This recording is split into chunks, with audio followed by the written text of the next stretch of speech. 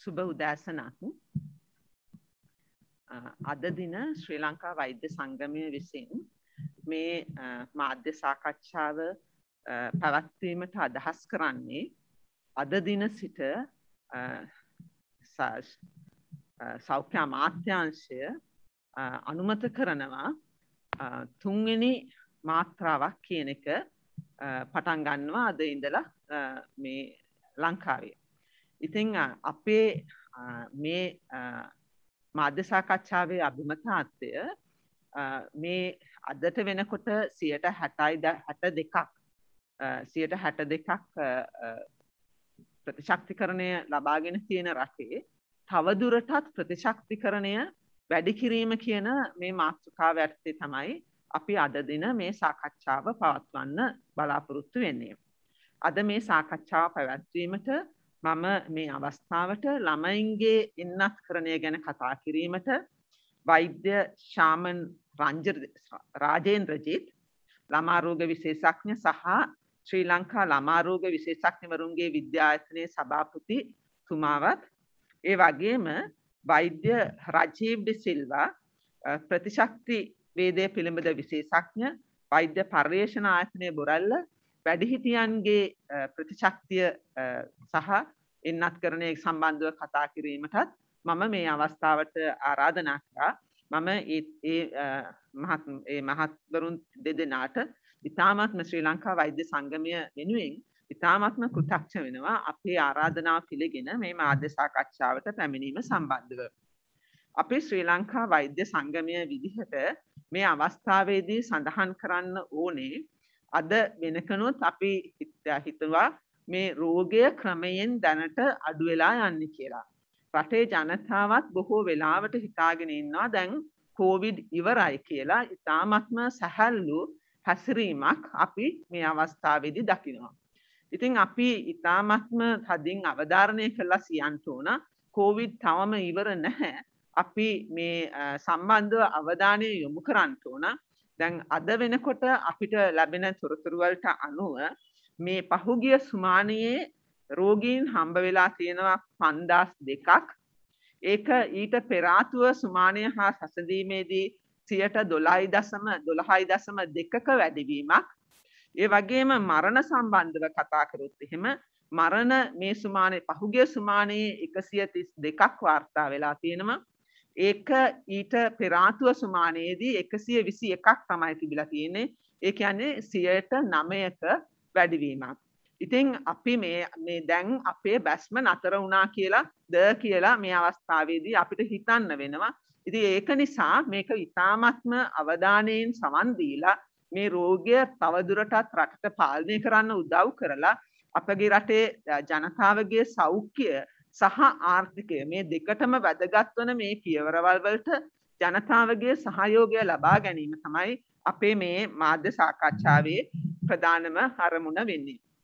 ඉතින් අපි මූලිකවම කියන්න ඕන එක තමයි අපි සෞඛ්‍ය අමාත්‍යංශය විසින් අනුමත සෞඛ්‍ය ක්‍රමවේද වලට තවදුරටත් අනුගත වීම කියන එක අපි යළි යළිත් අවධාරණය කරනවා. අපි දකිනවා බොහෝ වෙලාවට මුවාවරණ නැතුව සිටිනවා. දුරස්ථ භාවය භාවිතා මේවා කරන්නේ නැහැ. ඉති ඒක නිසා අපි යළිත් අවධාරණය කරනවා මේ රෝගය අනිත් එක්කෙනාට තියෙන්ට පුළුවන්. එන්නත් දෙකම ලබා ගත්ත අය වනත් රෝගය ගෙදර ගෙනියන්න පුළුවන්. ඒගොල්ලන්ගේ ඇගේ අස් වෛරසය තියෙන්න්න පුළුවන්. ඒගොල්ලන්ට වෛරසය ලාවට හැදෙන්න පුළුවන් රෝගය ඒ එක්කම ගෙදර ගිහිල්ලා ගෙදර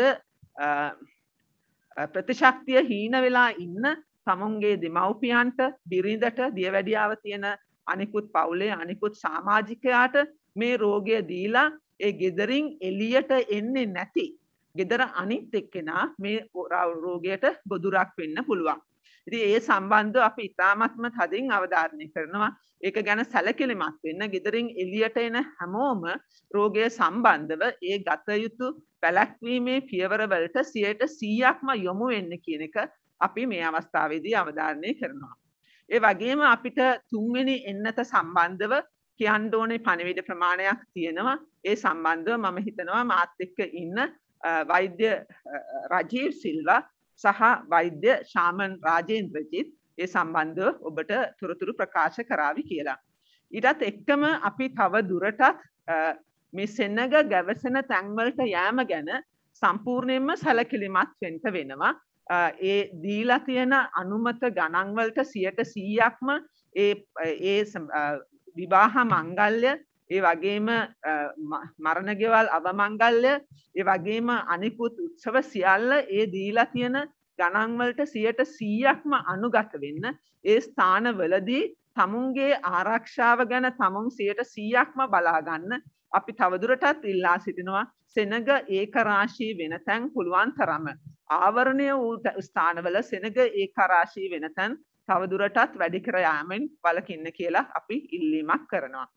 ඒ එක්කම අනිකුත් මේක තමයි මේ අමාත්‍යංශයේ විදිහට අපි මේ අවස්ථාවේදී අවධාරණය කරනවා මේ මේ තවදුරටත් මේක අධීක්ෂණය කිරීමේ වැදගත්කම කියන එක.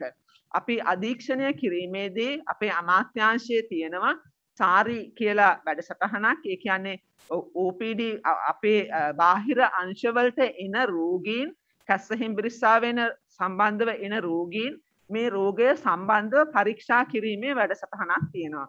ඒ සම්බා ඒ වැඩසටහන තවදුරටත් ශක්තිමත් කරන්න ඒ වගේම තවදුරටත් අපේ අහඹු පරීක්ෂණ කරන එක වැඩි කරන්න ඒ මගින් පමණක් අපිට මේ තව පොඩි පොකුරු ඇතිවිය හැකි බැවින් ඒ ගැන අවධාරණය යොමු කළ තදින් අධීක්ෂණය කිරීමක් පවත්වන්න කියන එකත් අපි මේ අවස්ථාවේදී ඉල්ලා සිටිනවා. මට දැනට මේ අවස්ථාවේ සඳහන් කරන්න තියෙන්නේ ඒක තමයි එතනින් එහාට මේ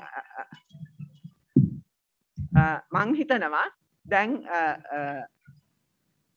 අපේ සාකච්ඡාවේ පරමාර්ථය වන එන්නත් කරණය ගැන සාකච්ඡ කතා කිරීමට අද ළමයින්ගේ එන්නත් කරණය කුමන ආකාරයටද සිද්ධ වෙන්නේ කුමන වයස්කාණ්ඩවලටද සිද්ධ වෙන්නේ කියන මේ කරුණු කාරණා ගැන සාකච්ඡා කිරීමට මම මා සමග මෙහි රැඳී සිටින වෛද්‍ය ශාමන් රාජේන්ද්‍රජිත් ළමාරෝග විශේෂඥ සහ ශ්‍රී ලංකා ළමාරෝග විශේෂඥවරුන්ගේ විද්‍යායතනයේ සභාපතිට ආරාධනා කර සිටිනවා.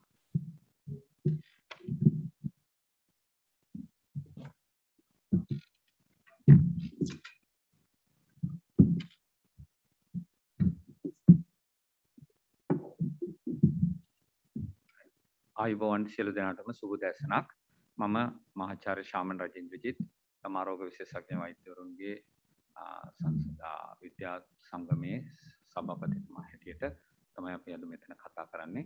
ඒ වගේම මම ළමාරෝග රුචිආරය ළමාරෝගලේ විශේෂඥ වෛද්‍යවරයෙක් ළමාරෝග පිළිබඳව. එතකොට අපි මුලින්ම කතා කරන්න බලාපොරොත්තු වෙන්නේ අතුරු ආබාධ සහිත ළමුන්ගේ එන්නත් කරණය ගැන මට කියන්න සතුටුයි. අපි ඒ වැඩ පිළිවෙල ඉතාමත් සාර්ථකව රජයේ රෝහල්වල ඉදිරියට ගෙනින් ඉවරයි දැම් බොහෝ දුරට. ප්‍රථම එන්නත ලබා ගන්නා අය ගණන ගත්තොත් අපිට දැනට තියෙන ගණන් අනුව විසි දෙදාහක්කට වැඩි ගණනක්. විසි දෙදාහක් අවට ප්‍රමාණයකට අපි පළවෙනි එන්නත ලබාදීලා තියෙනවා. ආතුරු ආබාධ සහිත ළමුන් ආබාධ සහිත ළමුන්ට. එහිදී මම කියන්න සතුටුයි. කිසිම ළමයකුට ප්‍රබල අතුරු ආබාධ කිසිවක් අපි විසින් දැනුවත් වුණේ නැහැ. අපිට හැම රෝහලකටම අපි ලබා දීලා තියෙනවා දුරකථන අංකයක් අතුරු ආබාධ ආවත වාර්තා කිරීම සඳහා එහි කිසිම අතුරු ආබාධයක් වාර්තා වුණේ නැති බව ප්‍රබල අතුරු ආබාධයක් වාර්තා වුණේ නැතුව කියන සතුටුයි. ඒ වගේම දෙවනි එන්නත ලබා දීම ආරම්භුණා ගිය සතියේ එහිදී මේ වෙනකොට අපි දෙවනි එන්නත තුන්දාහකට අධික ප්‍රමාණයක් ලබා දීලා තියෙනවා. එතකොට දැන් අපි හුඟක් බලාපොරොත්තු වෙන්නේ පයිස එන්නතෙන් දෙවනි මාත්‍රාව ලබා දීමේදී තමයි මයෝකාඩයිටිස් වගේ ගැටලු ඇති වෙයි කියලා බලාපොරොත්තු වෙන්නේ. නමුත් කියන්න සතුටුයි මේ වන විට ඒ වගේ කිසිම ගැටලුවකින් තොරව එම එන්නත් කරන වැඩපිළිවෙල ඉදිරියට යනවා. එතකොට අපේ සාමාන්‍ය ගණන් කිරීම අනුව අපිට තිබුණා අපි බලාපොරොත්තුනේ ආබාධ සහිත ළමුන් වෙන්නත් කරණයට යොමු විය යුතු ළමුන් 30000ක් පමණ ඉඳීවි කියලා.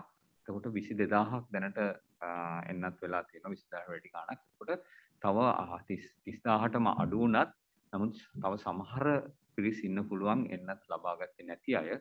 එතකොට මගේ ප්‍රථම ඉල්ලීම ළමාරෝග විශේෂඥ වෛද්‍යවරුන්ගේ විද්‍යායතනයේ සභාපතිතුමා හැටියට මේ රටේ ළමුන් අතුරු ආබාධ සහිත ළමුන් සුරකීම සඳහා ඔබගේ ළමයාට එම එන්නත ලබා ගැනීමට උනන්දු කරන්නයි.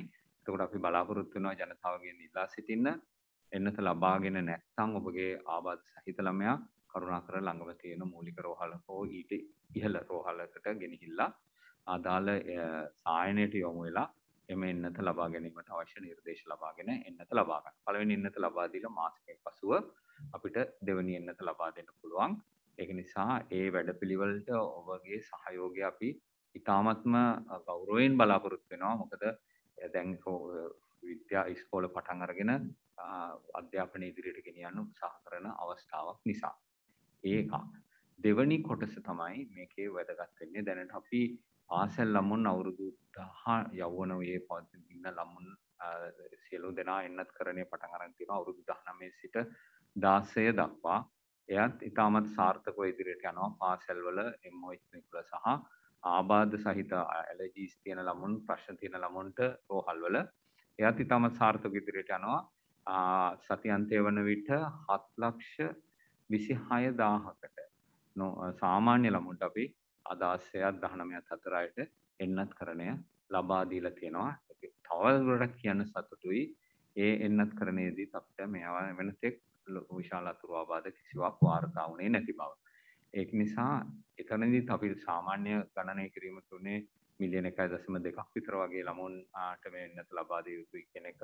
නමුත් ඒ කාණ්ඩ වශයෙන් තමත් සංවිධානාත්මක සිද්ධ වෙන්නේ සෞඛ්‍ය අමාත්‍යාංශයත් අධ්‍යාපන අමාත්‍යාංශයත් MOH ක්ලිනික් සහ ළමා රෝග විශේෂඥ වෛද්‍යවරුන්ගේ විශේෂඥ සංගමයන් කොලේජ් ඔෆ් ෆිසිෂන්ස් කායික වෛද්‍යවරුන්ගේ සංගමයන් ශ්‍රී ලංකා වෛද්‍ය සංගමයේ සමාජිකයනුත් සියලු දෙනාම එකතු වෙලා ඉදිරියට ගෙන යන වැඩ පිළිවෙලක්. ඒ ඉතාමත් කල්පනාකාරීව සැලසුම් කරලා තියෙන ඒක නිසා මම හිතනවා මේ මාසේ අද පළවෙනිදා මේ මාසේ මැද විතර වෙනකොට ඉතුරු ලක්ෂ හතත් ලක්ෂ හයක් විතර වගේ තමයි බලාපොරොත්තු වෙන්නේ. හයත් එන්නත් කළා. එන්නත් කරණය කළා. ඒ වැඩ පිළිවෙලත් ඉතාමත් සාර්ථකව ප්‍රථම එන්නත ඔවුන්ට ලබා දෙන්න පුළුවන්. එතකොට ඊට අමතරව විශේෂඥ බෝවෙන රෝග පිළිබඳ උපදේශක කමිටුව දැනට එන්නත් කරණයට සඳහා අවසර ලබා දීලා තියෙන්නේ ඒ ආකාරයටයි. ඔවුන්ට දෙවනි එන්නත ලබා දීම මාස 3ක් ඇතුළත විතර වගේ කාලය තුල අපිට නැවත වරක් විශේෂඥ වාර්තා අධ්‍යයනය කළා තීරණය කරන්න වෙනවා. මම හිතනවා රජීවද සිල්වා මහතා ඒ ගැනත් යමක් සඳහන් කරાવી කියලා. ඔහුගේ අදහස් වමාරු කර ගැනීමේ අවස්ථාවේදී. එතකොට ඒ ඒ ඒ එන්නත දෙවනි එන්නත තොවුන්ට ලබා දීමට බොහෝ දුරට අවස්ථාව තියෙවි. ඊට පසුව අවුරුදු 12ත් 15ත් අතර ළමුන් එන්නත් කරණය පිළිබඳ මේ වන විට අවසාන වාර්තාව අපි සූදානම් කරමින් පවතින ළමා රෝග විශේෂඥ වෛද්‍යවරුන්ගේ අනුමැතිය ලබා ගැනීම සඳහා එහි අවසාන වාර්තාව අපිට තව නොබෝ දිනකින් සෞඛ්‍ය අමාත්‍යාංශයට බාර දෙන්න පුළුවන්. එහෙමන අවස්ථාවේදී අපි බලමු ඔවුන්ට එන්නත් කරණය කරන්නේ කොයි ආකාරයටද කියලා ඒ පිළිබඳ තාම අවසාන නිගමනයකට එළඹිලා නැහැ. අධ්‍යයන වාර්තා අනුව පිටරටවල තියෙන වාර්තා අනුව නම් අවුරුදු 12ත් 15ත් අතර ළමුන්ට එන්නත ලබා දීමට පුළුවන්. නමුත් අපි ඒ ඉතාමත් කල්පනාකාරීව ගත යුතු තීරණයක් ශ්‍රී ලංකාවේ අපේ ඉන්න විශේෂඥ වෛද්‍යවරුන් එම දත් අධ්‍යයනය කළා. ඒ පිළිබඳව වාර්තාව නොබෝ දිනකින් සෞඛ්‍ය අමාත්‍යාංශයට ලබා දෙන්න බලාපොරොත්තු වෙනවා. ඊට අමතරව මට අමල තාත්තලාගෙන් සහ දුව දරුවන්ගෙන් පැහැදිලි ඉල්ලීමක් කරන්න බලාපොරොත්තු වෙනවා. ඒ තමයි දැන් යම් පාසල් යම් යම් කොටස් පටන් අරගෙන තියෙන 8 වෙනිදා ඉඳලා පාසල්වල සමහර තවත් කොටස් විවෘත කිරීමට සෞඛ්‍ය අමාත්‍යංශයෙන් නිර්දේශනයකුත් වී තිබෙනවා. එතකොට දැන් ප්‍රශ්නයක් එනවා දැන් අපි එන්නත් කරණය කරේ කොටසක් පාසල් යවන්නේ තව කොටස. නමුත් ඒ පැහැදිලිව තීරණය කර පැහැදිලිව අපි මේක හඳුනාගත යුතුයි. එන්නත් කරණයත් පාසල් නැමත විවෘත කිරීමත් අතර සම්බන්ධතාවයක් ගොඩනගන්න අවශ්‍ය නැහැ. මොකද ලෝකයේ අනිත් රටවලත් එන්නත් කරණයෙන් තොරව පාසල් පටන් අරන් තියෙනවා. අපි ලංකාව අපි කුඩා රටක් වුණත් අපි ඇත්තරම එන්නත් කරණයේදී තාමත් ඉදිරියෙන් සිටිනවා කියලා මට කියන්න පුළුවන්. ඒ නිසා තවදුරටත් දැන් අවුරුදු 3ත් 5ත් 12ත් අතර ළමුන්ගේ එන්නත් කරණය කොයි ආකාරයකද ලංකාවේ සිදු වෙන්න ඕන කියන එක අපි තවදුරටත් අධ්‍යයනය කළ ගන්න ඕන තීරණයක්. එය එමෙ එන්නත ලබා දෙන තෙක් ළමුන් ගෙදර තියන්න බෑ. ඒ නිසා ළමුන් නිවැරදි සෞඛ්‍ය පුරුදු සහිතව පාසලට යවන්න ඔවුන්ට හැමදේම උගන්වන්න ගෙවල් වලදී ඒ වගේම පාසලේදී ඔවුන් පරිස්සම් වෙන ආකාරය උගන්වමු. ඒ වගේ ළමුන්ව සුරක්ෂිතව පාසල් යවන්න වටපිටාවක් අපි හදාගමු. අපි ළමා රෝග විශේෂඥ වෛද්‍යවරුන්ගේ විද්‍යාර්ථන හැටියට අපි කිව්වා අනාරක්ෂිත සමයක සුරක්ෂිත තක්ෂලාවක් කියලා. මේක අධ්‍යාපන අමාත්‍යාංශය සමග එකතුව ගොඩනක් වැඩපිළිවෙලක්. ඒ අනුව තමයි පාසල් විවෘත කිරීමට අපි ඔවුන්ට සහයෝගය ලබා දුන්නේ. පාසල් විවෘත කිරීම සඳහා ඒ ලබා දෙන වෛද්‍යවරුන්ගේ සංගමයක් හැටියට අපි සහයෝගය ලබා දීමේදී අපි තීරණය කරා. හැම කලාපයකටම විශේෂඥ වෛද්‍යවරයෙක් ළමා රෝග පිළිබඳ එම කලාප කාර්යාල සමග සහයෝගයෙන් වැඩ කිරීමට අනුයුක්ත කිරීමට එය ඉතාමත් සාර්ථකව මේ වනට සිදු වෙලා තියෙනවා. එම නිසා අපි සංගමයක් හැටියට ඒ වගේම රජයේ වගකිව යුතු වෛද්‍යවරුන් හැටියට පාසල් විවෘත කර අධ්‍යාපනය ඉදිරියට ගෙන යාමට හැකි සෑම සහයෝගයක්ම අධ්‍යාපන අමාත්‍යාංශයට සහ ජනතාවට ලබා දෙන බවත් අපි කිය යුතුයි. එතකොට මේ වගේ වැඩපිළිවෙළවල් රාශියක් ක්‍රියාත්මක වෙනවා. ඒ නිසා ළමුන්ගේ අධ්‍යාපනය ඉදිරියට ගෙන යාමට ඒ නිවැරදි සෞඛ්‍ය පුරුදු අනුගමනය කළා අවශ්‍ය කටයුතු දිගටම කරගෙන යන්න කියලා අපි ජනතාවගෙන් ඉල්ලා සිටිනවා. ඒ වගේම අපි දන්නවා පාසල් වල වෑන් රියදුරන් සහ සහායක සහායිකාවන් එන්නත් කරණයත් අපි බොහෝ දුරට ඉවර කරලා තියෙනවා. නමුත් සමහර අය ඉන්නවා තවමත් එන්නත් ලබා ගන්න නැති අය. ඔවුන්ගෙනුත් අපි ඉල්ලා සිටිනවා ගෞරවයෙන් ඇවිල්ලා මෙන්නත ලබා ගන්න කියලා. ඊට අමතරව ගුරුවරු සියලු දෙනාම එන්නත් කරණය කළා ඉවරයි අධ්‍යාපන අමාත්‍යාංශයට අනුව. ඒක නිසා පාසල් යෑමට චකිතයක් ඇති කරගන්න එපා. අපි මේ එන්නත් කරණය ඉදිරි කොටස් ඉදිරියේදී අපි මාධ්‍ය සාකච්ඡාවකින් දැනුම් දෙන්නම් ඉතුරු ඒවා කෙරෙන්නේ කොහොමද කියලා. එතෙක් අපි මේ විදියට රටක් හැටියට ළමයින්ට උගන්වගෙන ඉදිරියට යෑම ඉතාමත්ම වැදගත් කියලා මම මතක් කරන්න කැමතියි.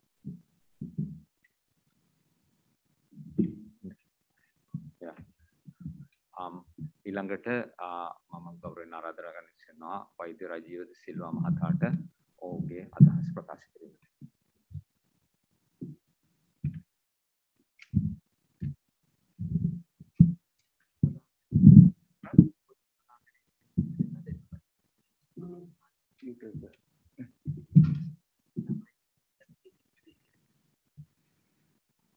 සුබ උදෑසනක් දැන් ලංකාවේ එන්නත් ගණනාවක් පාවිච්චි කරලා දී. ෆයිස ඇස්ට්‍රසෙනික ස්පුට්නික් මාත්‍රා සුළු ගානක් සහ සයිනෆාම්. මේ එන්නත් හතරෙන් මේ ලංකාවේ ජනතාව ආරක්ෂා වෙලා තියෙන. එන්නත් ගැහුවේ නැත්තං මේ මරණ සංඛ්‍යාවයි රෝහල් වලට යන ලෙඩ්ඩුන් සංඛ්‍යාවයි කෝවිඩ් නිසා බරපතල ලෙඩ හැදෙන ලෙඩ්ඩු ප්‍රමාණයයි විශාල වශයෙන් අඩු වෙලා තියෙනවා. හැබැයි මේ එන්නත් හතර ගත්තොතින් ඒ එන්නත් හතර වෙනස්. සයිනෝෆාම් කියන්නේ අක්‍රිය එන්නතක්. ෆයිසර් ඊට වඩා වෙනස් එන්නතක් ඒක mRNA කියන එන්නත් ජාතියක් ඇස්ට්‍රසෙනිකත් තවත් එන්නක්. දැන් මේ එන්නත් හතරෙන් යම් කිසි ආරක්ෂාවක් තිබ්බත් දැන් අපි පේනකොට බලනකොට දැන් අලුත් දත්ත බලනකොට අර අක්‍රිය එන්නත් කියලා තියෙනවා ඉනැක්ටිවේටඩ් එන්නත්. දැන් ලංකාවේ අක්‍රිය එන්නත් නැත්නම් ඉනැක්ටිවේටඩ් එන්නතක් හැටියට පාවිච්චි කරන්නේ සයිනෝෆාම්. අපි දන්නවා සයිනෝෆාම් එන්නත් අක්‍රිය එන්නත් අනිත් එන්නත් වගේ නෙමේ ඒකේ ආරක්ෂකතාවය කාලයක් යනකොට අඩුවෙන්. ඒක නිසා තමයි උදාහරණයක් වශයෙන් පෝලියෝ එන්නත් එක මේ ඉනක්ටිවේටඩ් පෝලියෝ එන්නතක් කියලා තියෙනවා ඉන්ජෙක්ෂන් වලින් දෙන එන්නක මේ කටින් දෙන එන්නක නෙමෙයි වාර ගණනාවක් ගහන්න ඕන ඒ ප්‍රතිශක් තිය තියාගන්න යම් කිසි මට්ටමකින් තියාගන්න. ඉතින් දැන් අපිට පේනවා සයිනෝෆාම් එන්නක පළවෙනි මාස ටික ගත්තම යම් කිසි ආරක්ෂාවක් තිබුණට පිටරට දත්ත අනුව සහ ලංකාවේ මහාචාර්ය නීලිකා මලවේගීගේ දත්ත අනුව මාස තුනකට විතර පස්සේ ආරක්ෂකතාවය අඩු වෙනවා කියලා පේනවා. උදාහරණයක් වශයෙන් මහාචාර්ය මලවිගේගේ දත්ත අනුව මාස තුනකට පස්සේ ප්‍රතිදේහ නිියුට්‍රලයිසිං ඇන්ටිබොඩීස් කියන ආරක්ෂා කරන ප්‍රතිදේහ ගත්තම විශාල වශයෙන් අඩු වෙනවා හැම වයස් කාණ්ඩයකම මේක අඩු වෙනවා කියලා පිට දත්ත පේන. ඒ වගේම ලෝක සෞඛ්‍ය සංවිධානයක් දැන් කියනවා ඒකේ උපදේශක මණ්ඩලයක් තියෙනවා සේජ් කියලා. සේජ් කොමිටුව සෞඛ්‍ය ලෝක සෞඛ්‍ය සංවිධානයට කියලා තියෙනවා අවුරුදු 60ට වැඩි සයිනෝෆාම් මාත්‍රා දෙකක් ගහපු පුද්ගලයින්ට තුන්වෙනි මාත්‍රාවක් ගහන්න කියලා මාස තුනකුත් මාස හයකුත් ඇතුළත. නැත්තං හැකි ඉක්මනින් ඒ ඒ කාලය පහු කරාට පස්සේ හැකි ඉක්මනින් තුන්වෙනි මාත්‍රාවක් නැත්තම් බූස්ට ඩෝස එකක් ගහන්න කියලා කියල. දැන් ෆයිස එන්නතයි ඇස්ටසෙනික එන්නතයි ගත්තුතින් අපිට පේනවා කාලය යනකොට ඒ මාත් එන්නත් දෙකේ මාත්‍රා දෙකක් ගහපු අයට කොරෝනා විෂබීජය ශරීරගත වෙලා රෝග ලක්ෂණ ඇති වෙනවා කියලා කියලා තියෙනවා. පේනවා. හැබැයි මාස හයක් දක්වා මේ සමහර රටවල් වල එච්චර පේන්නේ නැහැ. හැබැයි රටවල් වල පේන්නේ මාස හයක් වෙනකම් මේ බල මරණ සංඛ්‍යාවයි ඒ වගේම ප්‍රබල කොරෝනා ආසාත්මිකතාවය ඇතිවෙන එක පිළිබඳව ආරක්ෂාවක් තියෙනවා කියලා පේන. ඉතින් මේ දත්ත සේරම ගත්තම අපිට පේන්නේ එකක් තමයි සයිනෝෆාම් එන්නත ගහපු අයට විශේෂයෙන් තුන්වෙනි මාත්‍රාව නැත්නම් බූස්ටර් ඩෝස් එකක් දෙන එක මම හිතන්නේ නුවණට පුළුවන්. මේ ශ්‍රී ලංකා වෛද්‍ය සංගමේ තීරණය තමයි අපේ රෙකමෙන්ඩේෂන් එක තමයි හැටට වැඩි අයට සහ වෙන ප්‍රතිශක්ති ප්‍රශ්න තියෙන අයට තුන්වැනි මාත්‍රාව ඉස්සෙල්ල ගහන්න කියලා. ප්‍රථමයෙන් ගහන්න මොකද ඒ අයට තමයි මේ කොරෝනා වෛරස් එක නිසා ප්‍රබල ප්‍රශ්න ඇති වෙන්නේ එන්නත් කරත් නැතත්. ඒ සියට කියන අවුරුදු හැටට වැඩි අයටයි හැටට අඩු යම් කිසි රෝග තියෙන පිරිස් තියෙනවා විශේෂයෙන් වකුගඩු ආබාධ තියෙන මේ අවයව බද්ධ කරපු අයට පිළිකා රෝග තියෙන ඒ වගේ මේ පිළිකා රෝගවලට මේ ඖෂධ දෙන අය ප්‍රතිශක්ති පද්ධති ඌනතා තියෙන මේ ජානමය වශයෙන් ප්‍රතිශක්ති පද්ධති ඌනතා තියෙන අයට ඒ වගේම HIV AIDS තියෙන අයට තුන්වෙනි මාත්‍රාව නැත්තම් බූස්ටර් ඩෝස් එක වහාම දෙන්න කියලා අපි රජයෙන් ඉල්ලනවා. හැබැයි අපි දන්න විදියට රජය මහිතන්නේ මේ සිය මේ අවුරුදු විස්සට වැඩි හැමෝටම වගේ තුන්වෙනි මාත්‍රාවක් වෙනවා කියලා එම තියෙනවා කතාවක්. හැබැයි අපි කියන අපි ශ්‍රී ලංකා වෛද්‍ය සංගමය කියන්නේ ඒ අවුරුදු හැටට වැඩි අයටයි හැටට අඩු වෙන ආසාත්ම වෙන දෙඩවල් තියෙන අයට තුන්වෙනි මාත්‍රාව තාමත්ම ඉක්මනින් දෙන්න කියලා. මේකට හේතුවක් තියෙනවා. දැන් දැන් පාසල් විවෘත කරනවා. දැන් පාසල් ළමයින්ට කොරෝනා රෝගය වැරදුනොත් ඒ අය ගෙදර ගිහිල්ලා ඒ ඒගොල්ලන්ගේ ඔය හැටට වැඩි ඉන්න මේ සීයලා ආච්චිලට සහ ඒගොල්ලන්ගේ වෙන නෑදෑන්ට වෙන බරපතල රෝග තියෙන නෑදයින්ට මේ කොරෝනා රෝගය දෙන්න පුළුවන්. ඉතින් ඒ නිසා හැකි ඉක්මනින් තුන්වෙනි මාත්‍රාව දෙන්න කියලා අපි ශ්‍රී ලංකා වෛද්‍ය සංගමයේ රෙකමෙන්ඩේෂන් එකක් තියෙනවා.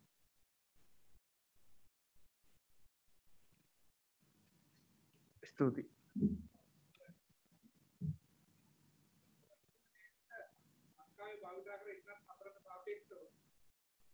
බූස්ටර් ඩෝස් එකක් දෙන්න පුළුවන්ද මේ පළවෙනි මාස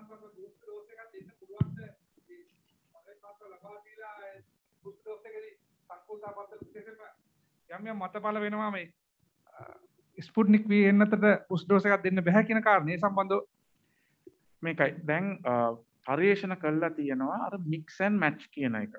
ඒ කියන්නේ ඒක කරලා තියෙන්නේ විශේෂයෙන් අර පළවෙනි මාත්‍රා දෙක බලනකොට. ඒ කියන්නේ පළවෙනි මාත්‍රාව එක එන්නතක් සාමාන්‍යයෙන් ඇස්ට්‍රාසෙනිකා නැත්නම් ෆයිසර් දෙවැනි මාත්‍රාවත් වෙන එන්නතක් ඒකෙත් ඇස්ට්‍රාසෙනිකා ෆයිසර් දැන් මේ මික්ස් ඇන්ඩ් මැච් කරනකොට පෙනිලා තියෙනවා එන්නත් දෙක වෙනස් වෙනකොට තියෙන ආරක්ෂකතාවය වැඩි කියලා පෙන්වලා තියෙනවා. ඒ වගේම තියෙන ආරක්ෂකතාවය ඊට වඩා පුළුල් වෙනවා කියලා. ඒ කියන්නේ ප්‍රතිශක්ති පද්ධතිය ඊට වඩා පුළුල් විදියට ආරක්ෂා වෙනවා කියලා. ඉතින් දැන් කියමු සයිනෝෆාම් එන්නත් දෙකක් නැත්නම් ස්පුට්නික් එන්නත් දෙකක් පළවෙනි මාත්‍රා දෙක හැටියට ගත්ත අයට ෆයිසර් එන්නත ගහන එක මං හිතන්නේ මේ වඩාත් හොඳයි. ඒ කියන්නේ සයිනෝෆාම් ගහන්න ඇතුව තුන්වෙනි මාත්‍රාවට ෆයිසර් එක ගහන එක ඊටත් වඩා හොඳයි. ඒ වගේම ඇස්ට්‍රාසෙනිකා දෙකක් ගහපු අයට ෆයිසර් ගහන එක වඩාත් හොඳයි. ඉතින් ඔය මික්ස් කරන එක මිශ්‍ර කරන එක මහිතන ප්‍රතිශක්ති පද්ධතිය වඩා පුළුල් විදියට මේ ක්‍රියා කරන්න පුළුවන්.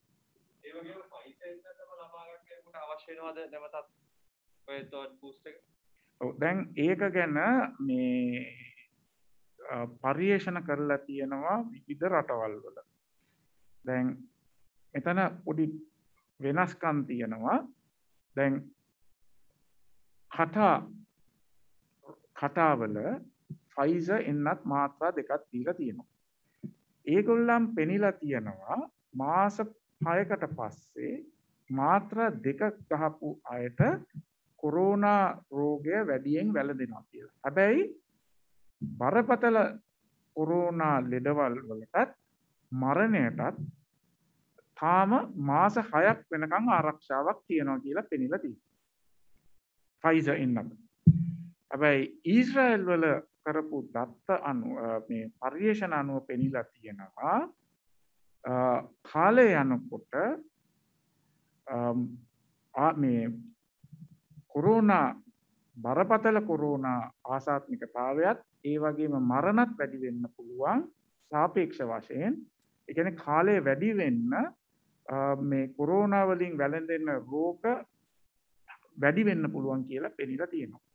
ඉතින් මං හිතන්නේ අද අද අද වෙනකන් අපි දන්නවා මේ ඊස්රායල් වල තුන්වෙනි මාත්‍රාවක් පටන්ගෙන තියෙනවා. ඒ තුන්වෙනි මාත්‍රාව දුන්නට පස්සේ ඒගොල්ලන් පෙනිලා තියෙනවා දහ ගුණයකින් කොරෝනා ලෙඩවල් අඩු වෙනවා කියලා ඒ තුන්වෙනි මාත්‍රාව ගත්ත අයට අර මාත්‍රා දෙකක් විතරක් තියෙන අයට සාපේක්ෂව. හැබැයි මට කියන්න ඕනේ ඒක සුමාන දෙකක වගේ ඉතාමත් කුඩා කෙටි කාලයක් තමයි ඒගොල්ලන් එක බලලා තියෙන්නේ. මං හිතන්නේ ෆයිස එන්නත් දෙකක් ගහපු අයත් තුන්වෙනි මාත්‍රාවක් ගහන එක නුවනට හුරුයි හැබැයි ඒක මාස හයක් අටක් වෙනකං කාලයක් දුක් කරන්න පුළුවන් සයිනොෆාම් එන්නත ගහපු අයට ඊට වඩා කලින් දෙන්න කියලා මම කියන. එතක මයිතුමනි මේනිට සියලුම එන්නත් වලට සංවේදී නොවන තර්ට් කියන මෙම වෛරසය ලෝක ලෝපුරා පැතිරෙනවා කියලා මාධ්‍ය වාර්තා පළ වෙනවා. මේ සම්බන්ධව වෛද්‍ය පරීක්ෂණ ආයතනයේ අවධානය යොමු කළා තිබෙනවද? වෛද්‍ය පරීක්ෂණ ආයතන. මම ඒක ගැන මං හිතන්නේ වෛද්‍ය පරීක්ෂණ ආයතන ඒක කියලා තියෙනවා කියලා නෑ. හැබැයි දැනට තියෙන එන්නත් මේ දැන් දැනට පැතිරෙන හැම වෛරස් එකටම මම හිතන්නේ දැන් තියෙන මේ එන්නත් වැඩ කරනවා. කවුරුවත් පෙන්නල නෑ ඒක වැඩ කරන්න නෑ කියලා මේ ඩෙල්ට ප්‍රයිම් අර ප්ලස් එන්නකට මේ වෛරස් ප්‍රභේදයටත් යම්කිසි ආරක්ෂාවක් තියෙන්න පුළුවන්. ඒක ගැන තාම හොයලා නැහැ. හැබැයි ඒකෙනුත් ආරක්ෂාවක් තියෙන්න ඕන. Dr. Rajiva, now you said that the SLMA SLMA recommendation is that we that uh, people over 60, all people over 60 be given the booster. Then people over 20 who are immunocompromised should be given the booster. Now, does that group over 20, below 60, also include people with comorbidities such as diabetes, hypertension, and things like that?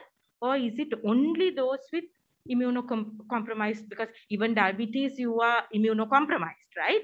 But do you bring them, the comorbidity group, also into this? Yes, uh, that's a good question. Now, it's like this. There are people say over 60 it's a blanket thing. Yeah from 20 to 60 there are people who do not produce antibodies at all. For example a person on immunosuppressive drugs will not produce antibodies.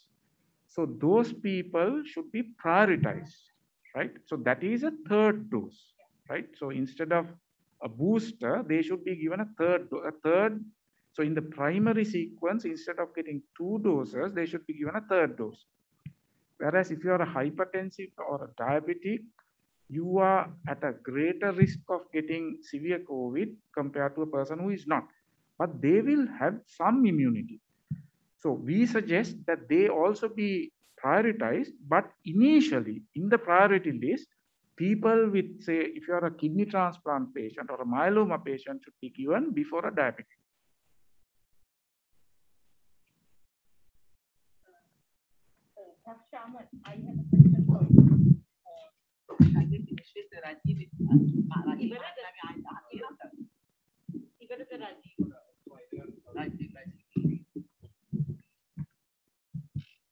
You.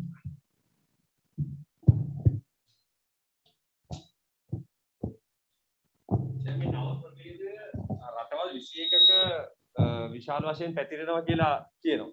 එතකොට අපේ රටටත් මෙහි බලපෑම ලැබෙයිද ඉක්මනට? මේකයි දැන් අපි ගත්තොතින් මේ ප්‍රභේදයයි දැන් දැන් දැන් බ්‍රිතාන්‍ය ගත්තොතින් ඉස්සෙල්ලා තිබ්බා ඇල්ෆා ප්‍රභේදය. ඇල්ෆා ප්‍රභේදය ඉතාමත්ම ඉක්මනින් මේ මේ ඩෙල්ටා ප්‍රභේදය ඇවිල්ලා ඇල්ෆා ප්‍රභේදය ඉක්මනින්ම ඒක යටපත් කරලා ඉක්මනින් ඉතාමත්ම වේගයෙන් මේ මේ ප්‍ර- ඇ- ඩෙල්ටා ප්‍රභේදය ආවා. දැන් එහෙම පේන්නේ නැහැ මේ මේ ප්‍රභේදයක් එක්ක. ඉතින් දැනට අපි මේ අර ට්‍රාන්ස්මිසිබිලිටි කියන එක එක්කෙනාගෙන් තවත් තවත් එක්කෙනාට යන ඒකේ එ- එච්චර වැඩි කියලා අපි කියන්නේ ඩෙල්ටා ප්‍රභේදයක් එක්ක සාපේක්ෂව ගත්තම. ඒක ඊට වඩා අ, ප්‍රබල අ, වෛරසයක්ද ඒකෙන් ඊට වඩා වැඩියෙන් ලෙඩ හැදෙනවද කියන එක අපි තාම දන්නේ නැහැ.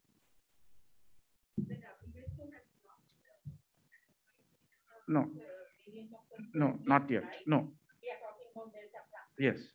Yes.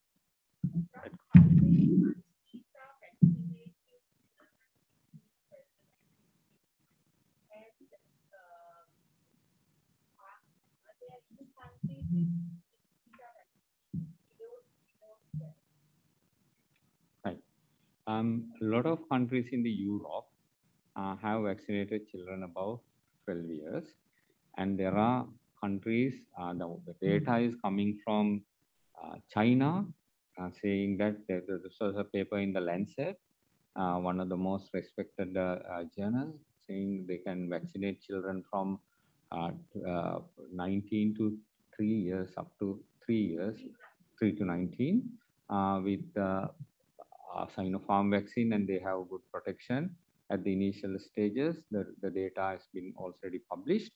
In addition, uh, uh, certain USA and uh, uh, Canada, they are considering of giving dose of one third of the usual dose of uh, Pfizer biotech vaccine to children below 12 years. So those data are coming up, Kunduni. So It is uh, in the that is why I very clearly told uh, all of you uh, we need to wait and see how things are progressing. So data is not enough.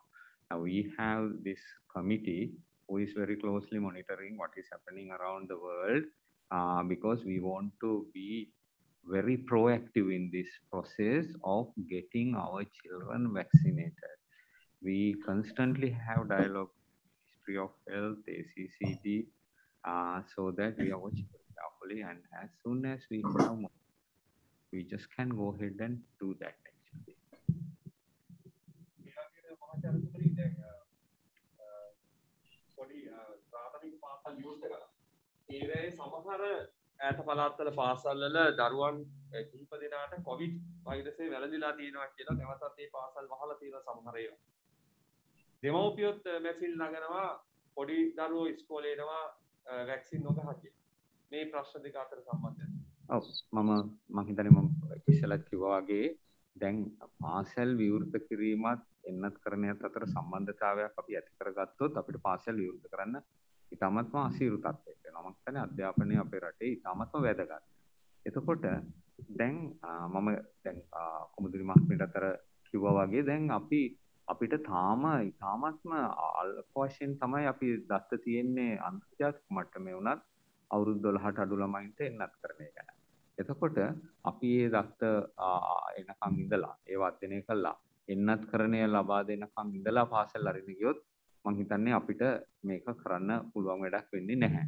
ඒක නිසා තමයි අපි ඉල්ලා සිටින්නේ නිවැරදි සෞඛ්‍ය පුරුදු සහිතව ඉතාමත් කල්පනාකාරීව ආ, මෙම පාසල් විවෘත කිරීම ඒ විදිහට දැන් මේ යන විදිහට කරගෙන යනවා. ඒකට ළමයෙක් අසනීප වුණොත් අපිට තේරෙනවා නම් ගෙදර ළමයෙක් අසනීප වෙලා ඉන්නවා නම් වෙනදනම් හෙම්පිරිසාවක් ඇස ඇදුණු ළමයෙක් ඉස්කෝලේ යවන එක අපි එච්චර විශාල දෙයක් හැටියට සලකන්නේ නැති වුණත් මේ අවස්ථාවේදී එහෙම ළමයෙක් ඉන්නවා නම් ඕව හොයව ගෙදර තබාගෙන අවශ්‍ය නම් කොවිඩ් ටෙස්ට් එක කරලා බලලා ආ, ඔවුන් ආ, අවශ්‍ය වුණොත් ආ, ස්වයං නිරෝධායනට ගෙදරදී ලක් වෙලා ඒ විදිහට අපි පරිස්සමෙන් වැඩ කරන්න වෙනවා.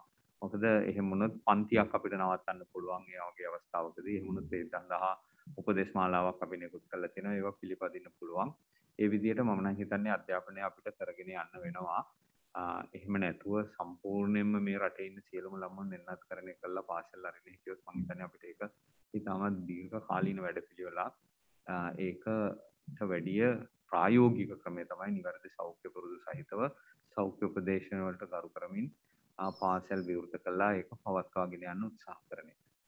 කොතරම් කිව්වා දෙමව්පිය අතර තාමත් බියක් තියෙනවා තමන්ගේ දරුවාට කොවිඩ් වලට දරුවා අරගෙන පස්සේ ඔව් මම ඒකට පැහැදිලි උත්තරයක් දෙන්නම්.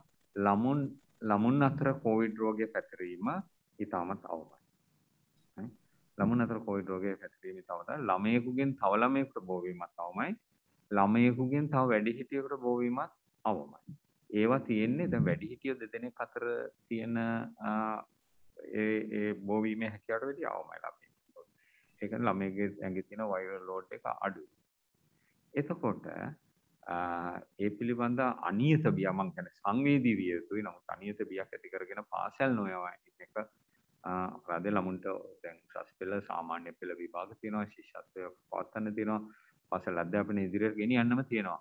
නමුත් දැන් දැන් අපි අපි හිතමු අපි ඔය ඔය ඔක්කොම ආ, සලකා බලලා ඔය මැසිවිලි සියල්ලම සලකා බලලා පාසල් විවෘත නොකර හිටියොත් තව අවුරුදු 5කින් විතර අපේ රටේ අධ්‍යාපනයට මොකද වෙන්නේ? මම හිතනවා ඒ ඉතාමත්ම ගැඹුරු ප්‍රපාතයකට යට වැටෙන්න පුළුවන් අපිට. ඒ වගේම ඔන්ලයින් අධ්‍යාපනයේ ඇති අවශ්‍යතාවය. දැන් අපි එකපාරක් යෝජනා කරේ ඒකයි. දැන් අව- පාසල් සිසුන් අවම පාසල් සිසුන් ගාණක් ඉන්න අයට තමයි ප්‍රශ්න ගොඩක් තියෙන්නේ. ඔවුන්ට තමයි ඔන්ලයින් අධ්‍යාපනය ලබා ගන්න බැරි. ඒ වගේම ඔවුන්ට ත- ඔවුන්ගේ අතරේ තමයි අපිට සමාජ දුරස්ථ භාවය තියාගෙන පාසල් විවෘත කරන්න පුළුවන්. හන්ද තමයි මුලින් කුඩා පාසල් විවෘත කළා ඉදිරියට යන්න ආ, විදියට මේ වැඩපිළිවෙල සෞඛ්‍ය අමාත්‍යාංශය ආ, සහ ආ, අධ්‍යාපන අමාත්‍යාංශය සහ අපි එකතු වෙලා ඒ ඒ වැඩපිළිවෙල සූදානම් කරේ. So මගේ ඉල්ලීම ඒ විදියට අපි ඒක කරගෙන යමු. ගැටලු එන ඒවා විසඳ ගන්න අපි උත්සාහ කරමු. රටේ අධ්‍යාපනය ඉදිරියට යා යුතුයි. එන්නත් කරණයට හා විශාල වශයෙන් සම්බන්ධ වෙයි. මම හිතනවා අපිට ආ, නොව කාලකින් ආ, ඒ ළමුන්ගේ එන්නත් කරණය සලකා බලන්න පුළුවන් වේවි. ඒ වගේම දැන් ළමුන් විශාල කාලයක් නිවසේ රැඳී සිටීම නිසා ඩිජිටල් දිරවල උන් ඇක්ටිව් වෙලා තියෙනවා. ඩිජිටල් ඔටිසම් කියන තත්ත්වය අ, වරද වෙලා මේකෙන් ගැලවෙන්න මොකක්ද මේකෙන් ගැලවෙන්න දෙන්න පුළුවන් හොඳ උපදෙස් තමයි පාසල් නැවත විවෘත කරලා ෆිසිකල් අලි ඉස්කෝලේ ගිහිල්ලා ඒ අධ්‍යාපනය නැවත වරක් අපි ඉස්සර කරගෙන ගිය විදිහට එම කරගෙන ඇත්තටම දැන් පාසා ඩිජිටල් ඒ කියන්නේ දැන් ඔය මේ ස්ක්‍රීන් ටයිම් කියන එක පිළිබඳ නිවැරදි අවබෝධයක් ලබා ගන්න ඕනේ. ස්ක්‍රීන් ටයිම් වලට එක අවායස් කාණ්ඩ වලට අවශ්‍ය නිර්ණායක තියෙනවා. ඒ වයින් බැහැරව දීර්ඝ කාලීනව ඩිජිටල් තිරවලට ලොමුවීම ඉතාමත් ගැටලු සහගත තත්ත්වයක් වෙන්න පුළුවන්. එළමයි සෝෂල් අයිසොලේෂන් එකක් කෙනම ළමුන්ට ළමුන් ඒතකොට ඒ වෙන්නේ ඔවුන් සමඟ අනිත් ළමුන් සමඟ ඇත පාසැලක තියෙන වැදගත්දේ මොකක්ද අධ්‍යාපනය පමණක්ද නැහැ. ගුරුවරුන් සමඟ ඇතිවන සබඳතා ළමුන් අතර ඇතිවන සබඳතා. ඒ වගේම ෆිසිකල් ඇක්ටිවිටස් ක්‍රීඩා බාහිර කටයුතු. මේ සියල්ලම ඩිජිටල් තිරයකින් ලබා දෙන්න පුළුවන් දේවල් නෙවෙයි. ඒක නිසා මං හිතන්නේ අපි ඒක ගැන ඉතාමත් සංවේදී විය යුතුයි. රෝග වැළැක්වීමේ ක්‍රමවේදයන්ට අනුගතව මේ සියල්ලම අපේ අනාගත පරපුරට ලබා දිය යුතුයි කියන එක තමයි අපි විශ්වාස කරන්නේ. Hello. Yeah, we believe uh, it is very important to physically open the schools and continue uh, school education in the normal environment as much as possible simply because uh, the screen time uh, is uh, one of the problems that we will uh, uh, we have encountered during last two years. Too much of a screen time would cause lot of medical as well as psychological issues in children. The education in school is not only you know subject matter. It consists of so many things interaction between children as well as teachers which teaches them uh, a lot of uh, positive things. Interaction between children with other children will give them a social benefits. So this is these are very important things in addition it is vital to have extracurricular activities in the school going.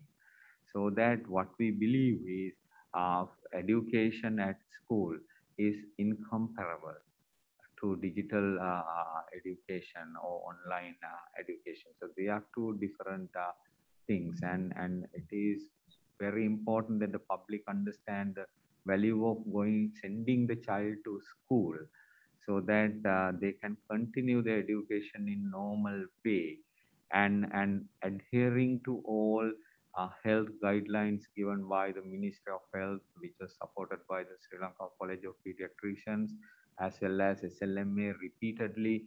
We believe our public is well aware of these things and public is well educated as well. So we believe that the public will adhere to these guidelines and help us to continue the education in schools as much as possible. Uh, hello, doctor. Can I ask a question? Yes. Yeah. Whom directing the question? To Dr. Padma Gunaratna. Yes. Yeah. My, my question is uh, on this third dose, uh, will it have any impact on the tourism industry at a time when the efforts are being made to revive the tourism industry?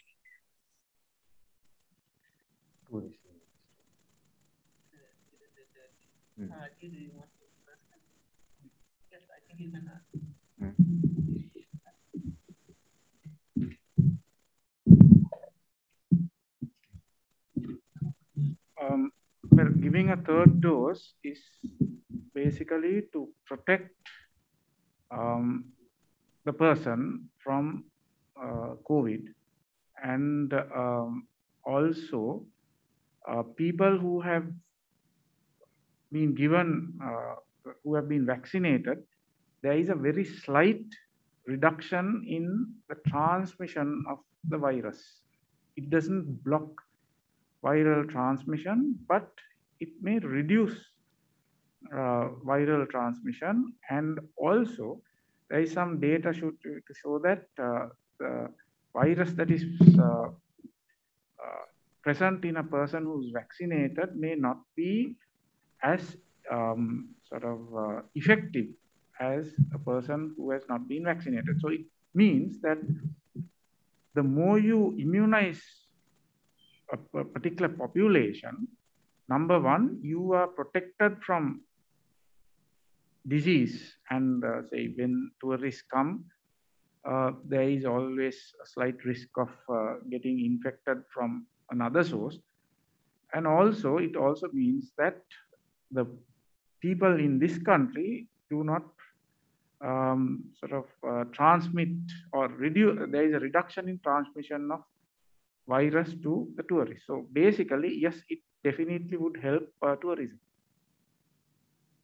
And also, of course, um, if a particular a, a tourist or a person from another country knows that uh, the say Sri Lankans are more protected than say an African country, I mean they would be more uh, willing to come to a country like Sri Lanka.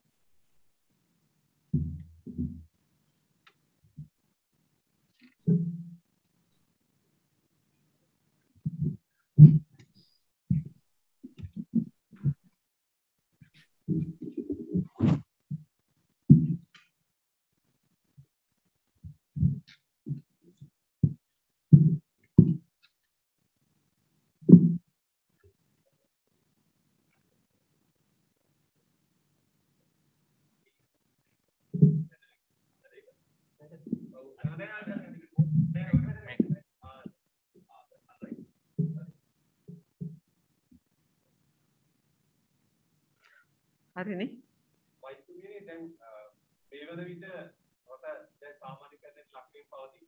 ඊයේ අපි දැක්කා වර්ෂාවත් එක්ක බොහෝ ජනයා ඒක රාශියලත් වෙනවා ස්ථාන ස්ථානවලට වැඩි තැන්වල. ඒ ඉදිරි සතියන්තයේ විශාල වශයෙන් ජන ඒක සිදුවෙන්න ඉඩ තියෙනවා. මේ තත්ත්වය බලපාන්නේ කොහොමද දැන් තියෙන මේ අලුත් වෛරස් ප්‍රභේදයත් එක්ක රටට? අපි යළිත් අවධාරණය කළා හිටියොත් එහෙම අපි මෙතුවක් කල් හිතුවේ රෝගය දැන් අඩුවෙමින් යන්නේ කියලා. නමුත් මේ සුමානයේ අපේ කතාව පොඩ්ඩක් වෙනස් වෙනවා. රෝගීන් සංඛ්‍යාවේ පොඩි වැඩිවීමක් තියෙනවා. මරණ සංඛ්‍යාවේ පොඩි වැඩිවීමක් තියෙනවා. ඒතර අපි දන්නවා අපි අද හැසිරීමේ තොරතුරු දකින්න අපිට තවත් සුමාන දෙකක් තුනක් එහාට යනවා කියන එක. ඉතින් ඒ මත මං හිතනවා අපිට හොඳට උපකල්පනය කරන්න පුළුවන් මේ අපේ හැසිරීම කොයි ආකාරයෙන් සමාජයට පරිවර්තනය වෙයිද කියලා. අපේ රටේ දැනට සියයට හැට දෙකක් ඉන්නත් කරණයට භාජනය වෙලා ඉන්නවා. ඒ ඉන්නත් කරණයෙන් ලොකු අපිට ආරක්ෂාව ලැබිලා ලැබෙනවා ඒ ඉන්නත ලබාගත් අයට. නමුත් ඉන්නත ලබාගත් අයටත් ඒගොල්ලන්ට තියෙන ඒගොල්ලන්ගේ තියෙන ප්‍රතිශක්තිය හීන වුණ රෝග තියෙනවා නම් ඒගොල්ලන්ටත් රෝගය වැළඳීමේ යලි හැකියාවක් තියෙනවා. ඒ වගේම ඒගොල්ලෝ රෝගය ගෙදර ගෙනහිල්ලා ගෙදර ඉන්න ප්‍රතිශක්තිය හීන වුණ කෙනාට රෝගය දීමේ හැකියාවකුත් තියෙනවා.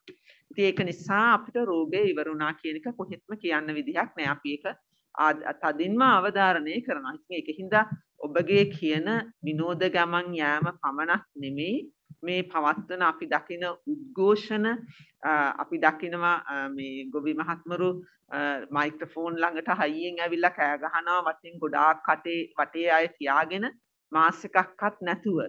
ඉතින් මේක අපිට නොපෙනෙන රෝගයක් නිසා මේක මේ නොපෙනෙන වෛරසයකින් කරන රෝගයක් නිසා මං හිතනවා අපි සියල්ලම රටක් විදිහට මේක මේක ගැන සම්පූර්ණයෙන්ම සැලකිලිමත් විය යුතුයි මේ අවස්ථාවේදී. මොකද අපිට තවදුරටත් මේකට රටවැසීමක් කරන්න බලාපොරොත්තු වෙන්න බෑ. අපිට මේකෙන් වෙන හානිය ගණනය කළ නොහැකි රටේ ජනතාවට සහ ආර්ථිකයට.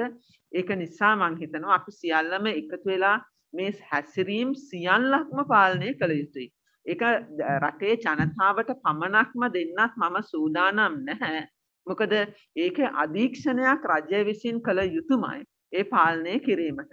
ඉතින් ඒ දීලා තියෙන සෞඛ්‍ය අමාත්‍යාංශය මගින් දීලා තියෙන ඒ නීති හරියට සියයට සීයක්ම ඒ ආකාරයටම පිළිපදිනවා කියන එක සනාත කිරීමට මං හිතනවා රජය සම්පූර්ණයෙන් උත්සාහ කර ගැනීමමම අපේ රටට විශාල ප්‍රතිලාභයක් ලැබෙන වැඩක් කියන එක. ඉතින් ඒක එක තැනකින් දෙකකින් නෙමෙයි මරණ ගෙවල්, මගුල් ගෙවල්, ඒ වගේම උත්සව මේ සියල්ලගේම හැසිරීම කියන එක ඒ වගේම විනෝද චාරිකාවලදී හැසිරීම කියන එක. ඒ වගේම උද්ඝෝෂණවලදී ඒ මේවා කරන එක හැසිරීම ඒගොල්ලන්ගේ. මේ සියල්ලම ඒ වගේම අපි අනිකුත් ගුඩ සැසනක සහභාගි වන ස්ථාන වඩාම කියන්න ඕනේ තමයි මේ පූජ්‍ය මධ්‍යස්ථාන අපිට මේ ආගමික වැදගත් වන ස්ථානවලදී ගොඩක් වෙලාවට ලොකු සංඛ්‍යාවල් එකතු වෙනවා මේ මේ ස්ථානවලද මේ සියල්ලගේම මේ නීතිය සයට සීයක්ම පිළිපඳිනවා කියන එක සනාත කිරීම රටට ප්‍රතිලාභ ගෙන දෙන වැඩක් විදිහට අපි දකිනවා මේ අවස්ථාවේදී. පළාත් පන්සල සීමා ඉවත් කළදී අද දූරිය විශාල සංඛ්‍යාවක් කොළඹට පැමිණියා බස් පළාත්වල විශාල සංඛ්‍යාවක් පැමිණෙන හැබැයි මේවායේ කිසිම විරෝධා මේ සෞඛ්‍ය නිර්දේශන අනුකූලව ගමන් කිරීමක් අපි දකින්නේ විශාල පොඩි වශයෙන් පිටු පැමිණෙනවා. මේක අවධානව වැඩිවීමක් ඔව් ඇත්තම මේක මේ කියන්නම ඕන එකක් තමයි පොදු ප්‍රවාහනය සෑම විටම. අපේ රටේ පොදු ප්‍රවාහනය විශේෂයෙන්ම සෙනග ගොඩක් වැඩිපුර සීට්ස් ගාන්ට වඩා ආසන ප්‍රමාණයට වඩා වැඩිපුර රෝගයෙන් දමාගෙන යන ප්‍රොදු ප්‍රවාහනය ඇත්තෙමම රෝගය ප්‍රතිරීමට ඉතාමත්ම අවදානම් සාධකයක්. ඉතිං ඒක ඒ ආකාරයට පාලනය කර ගැනීමට නොහැක්වීම ඇත්තෙම අපේ රටේ අභාග්‍යයක්. ඉතින් මංහිතනවා අපි පුද්ගලිකව තනි තනිව හරි මේ සම්බන්ධව සැලකිලිමත් වෙලා මේ රෝගීන් රෝගීන් එකතු වෙන තන් ඒකරාශී වෙන තැන් එක කුඩා ප්‍රමාණයක කුඩා ස්ථානයක ගොඩ කට්ටිය ඒකරාශී වන තැන් වලක්වා ගැනීම වැදගත්. ඒ වගේම තවදුරටත් ගෙදර සිට රැකියාව කිරීම කියන මේ සංකල්පය හැකි සෑම අවස්ථාවකම තවදුරටත් කරගෙන යාමත් ඒ වගේම ස්ථාන අවම ප්‍රමාණයකින් වැඩ කටයුතු කිරීම කියන මේ සංකල්ප තවදුරටත් කරගෙන යෑම ඒ අවස් ඒ ස්ථානවල වැඩ වැඩවල වැඩවල කොලිටියකට සහ කොන්ටිටිය එකට බාධාවක් නොවෙන ආකාරයට ඒ කටයුතු කරගෙන යාම අපිට වැදගත් වෙනවා කියලා. තවදුරටත් අපි ගෙවල් වල සිට වැඩ කරගෙන යාම කියන එක ඒ සංකල්පය සහ අඩුම ප්‍රමාණයක් එකතු වෙලා වැඩ කරගෙන යන සංකල්ප තවදුරටත් කරගෙන යාම වැදගත් වෙනවා මේ රෝගය පාලනය කිරීමට.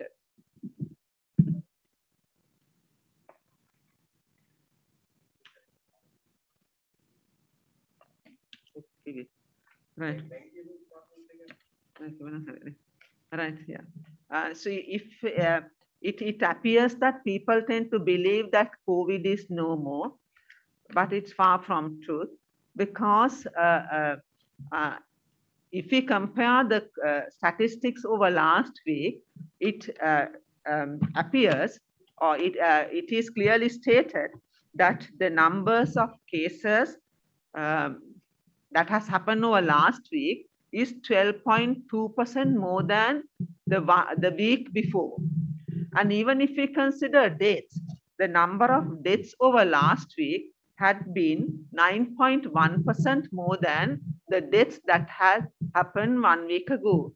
So therefore, it may be that the, uh, uh, the uh, there is a very high possibility, particularly when we consider the situations that happen in UK, uh, Israel, and in other countries, it is uh, quite possible that we may get another surge. Uh, may not be to the extent that we had, but then it's possible that we could get clusters. And particularly, it may be possible that there will be patients, though the deaths and the severe cases might become much lower than previous situations. So therefore, it's important that we as people avoid all possible uh, possibilities of contracting the disease. Now, if we have contracted the disease and if we have got both vaccinations, it's likely that we may not suffer a severe disease or that we might not die. But then it's possible that we uh, transmit the disease to others who are at home, our feeble elderly, our the elderly with immunocompromised status, and it's the person who is at home who has not come out of the home that who might succumb to the illness. Therefore, we say that to take all precautions possible to avoid contracting the disease, to continue wearing the mask and maintaining the social distance and avoid all possible situations where you get crowded uh, crowded places crowded enclosed places where the uh, transmission of the disease is very high particularly it's important that i mention with regard to public transport it's unfortunate that as a country that we had not been able to provide a decent transport system where people um, are, are uh, transported only uh, to the number of seats available. So it has become important that we individually take our responsibility and continue to work from home as much as possible, as well as for the officers to continue with the minimum number of people uh, without compromising the quality and quantity of the work. Thank you. අද මේ මාධ්‍ය සාකච්ඡාවට පැමිණි ඔබ සැමට මම ඉතාමත්ම ස්තුතිවන්ත වෙනවා අපේ ශ්‍රී ලංකා වෛද්‍ය සංගමයේ මතය සමාජයට ගෙන යෑමට දීපු සහයෝගය සම්බන්ධව.